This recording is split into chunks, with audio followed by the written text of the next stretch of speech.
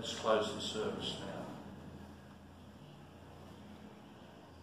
now. Now to him that is able to keep you from falling and to present you faultless before the presence of his glory with exceeding joy. To the only wise God our Saviour, be glory and majesty, dominion and power, both now and forever.